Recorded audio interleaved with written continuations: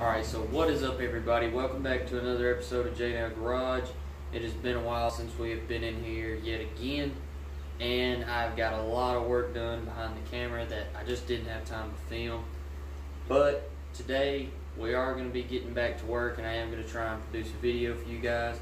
So today we're going to be working on the Camaro. Uh, I've been running into a couple problems with my fuel injection system, and I've been running the uh, FiTech 750 horsepower uh, LS induction kit. And I'm having a, a slight problem with takeoff from a dig or from just a slow roll, anything below 3200 RPMs. Um, the car almost sounds like it's in like an anti-lag, but this is a NA motor, so I'm not running a turbo or anything like that. So my thought was I'm getting fuel cut from somewhere. Uh, so today I'm going to be installing a fuel pressure gauge. I'm also going to be installing a oil pressure gauge. Um, and I'm going to show you them right now. So I decided to go with the uh, the GlowShift gauges. Let me step back. Because uh, uh, I told you guys before, this is no like true Z28 car or anything crazy like that. Uh, this is just a plain Jane, you know, two door Camaro pretty much. Uh, it came original with a six cylinder in it, so originality is not a thing for me. So I'm more into the customized look at this point. Um, but another main reason I went with the GlowShift gauges is because I want to get rid of the tri gauge inside the car, which I'll show you now.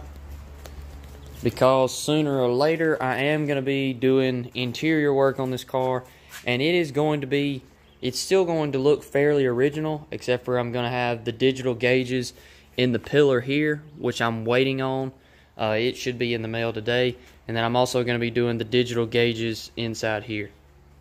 So, uh, the tri gauges right here mounted on the bottom of the dash. The main reason I want to get rid of these, they still work fine, they still do their job fine, but I have a coolant uh, sensor that came with my FiTech kit, and I can read all that through my little handheld here.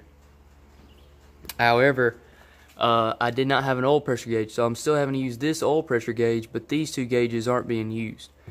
And my little brother, he is also um, he's got a Chevelle that he is currently in the works of trying to get going, and uh, these gauges are set up perfectly for the old school small block stuff, and that's what he's going to be running in his Chevelle. So, uh, in getting rid of these, they're not actually going anywhere. They're actually going to be put back to use.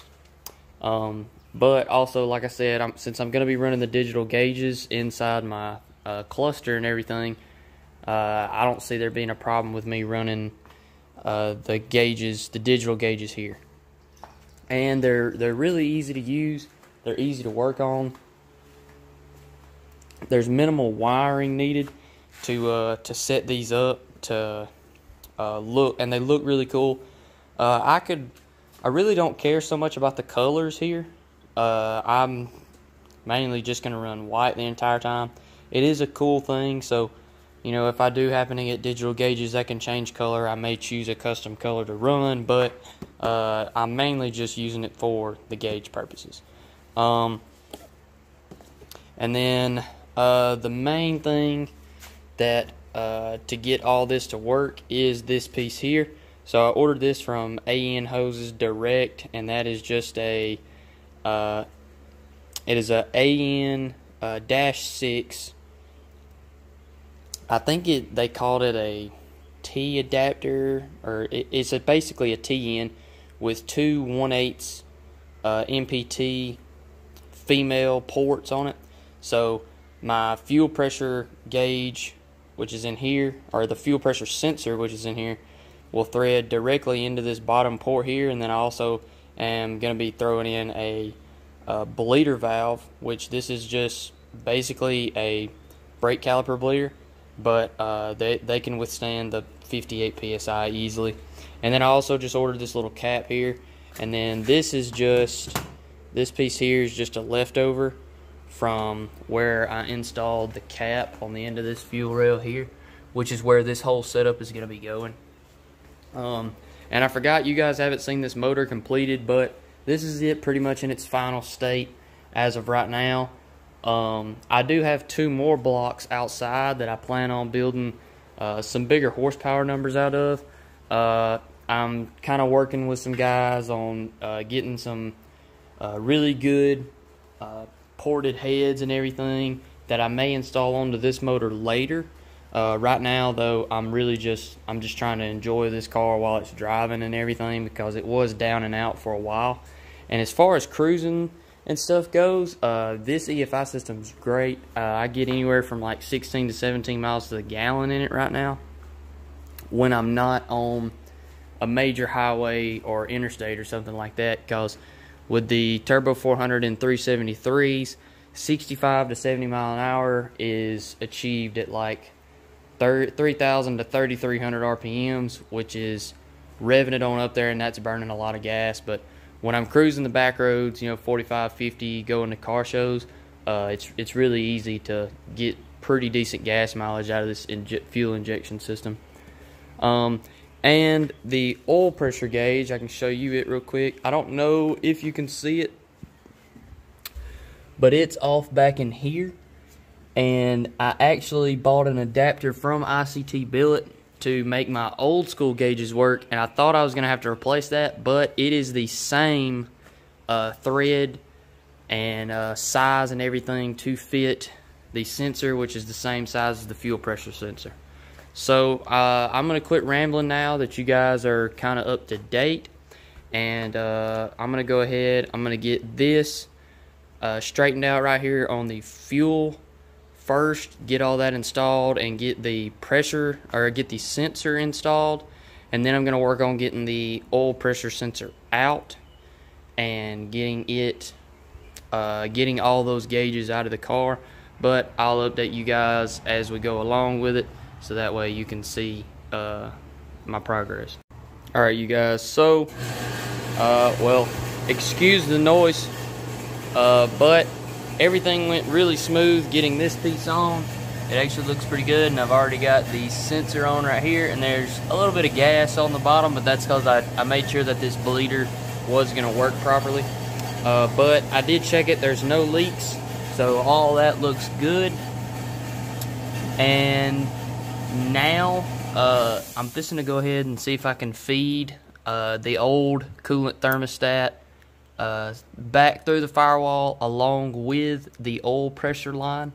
And then uh, once I get all that through that hole right there in the firewall, then uh, I think I'm going to go ahead and I'm going to run the sensor wires into the uh, cab uh, from the sensor, from both of the sensors. Um, so that way I'm pretty much done under here other than like tidying up the wiring once I figure out how much slack I need and everything like that. And then that way I can work solely on the cab and making sure that all that's nice and neat and looks really good. Uh, but I am still waiting on the uh, A pillar to arrive. Uh, has not showed up yet. However, I did get a notification this morning saying that it is on its way. It left the uh, FedEx delivery place this morning, and uh, it should be here. Hopefully, uh, hopefully it's going to be here by two. Um, cause I'm thinking right about then is when I will have everything ready, uh, wired up and everything. All I'll have to do is slide my gauges into the new pillar, install the new pillar and then plug everything up and we should be good to go. Uh, so I'm going to get to work on getting those old gauges out and I'll show you guys what it looks like whenever they're out I guess. Alright you guys, so uh, I did manage to get the old gauges out. They're right here on top of this grill, ready to go down to my dad's shop. And uh, I also got the uh, sensor wires ran into the cab. Uh, and I also took the A pillar off, waiting on the new one to get here. It should be here any moment. Uh, but I have got some errands I have got to run. Uh, and before I do that, though, I'm going to just show you guys that it is still uh, decently clean looking under here, even with the two extra bulky looking wires. Um, I checked it two or three times. I have no fuel leaks at all. Uh, so that's good. And uh, so when I get back, I'm going to go ahead and get the gauges wired in, get their wiring harnesses completely finished. If my A-pillar is not here yet, uh, no big deal. I'll have everything ready so that as soon as it gets here, slide the gauges in it, bolt it up, uh, plug everything into the gauges, and then we should be uh, ready to rock and roll. So, um, I didn't even really get to the time consuming part, which is the wiring, because they give you these really short wiring harnesses with these gauges. Give me one second and I'll dig one out.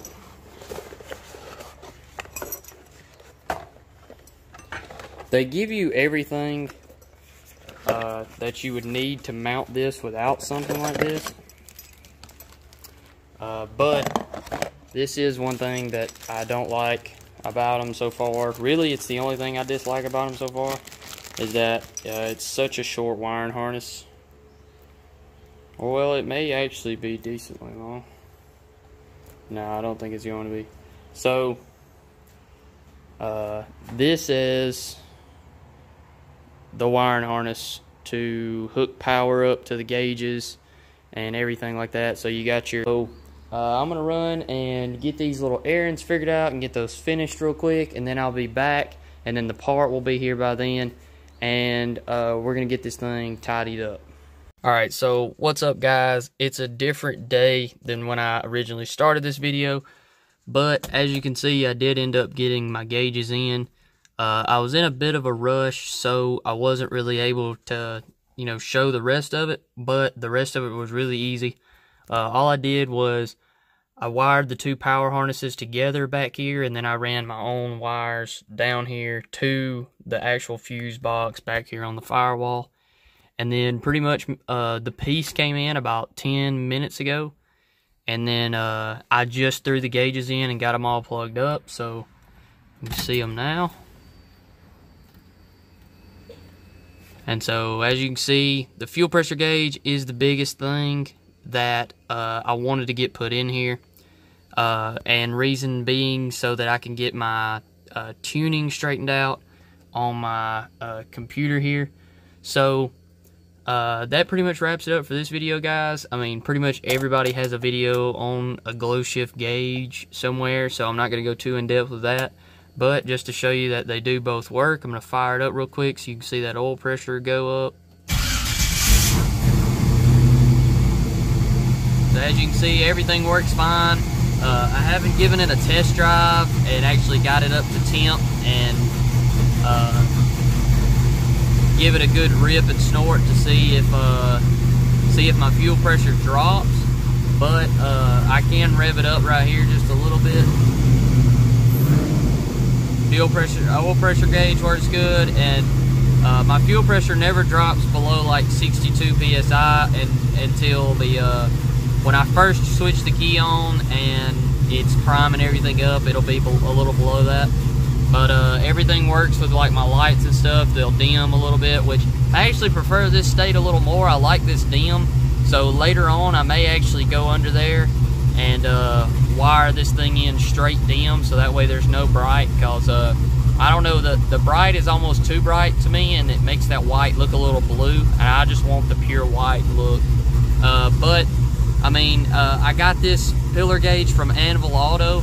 Uh, if you guys need a link to it or anything like that you know just leave a comment below. I hope you guys like this video and uh, as always we'll see you guys in the next one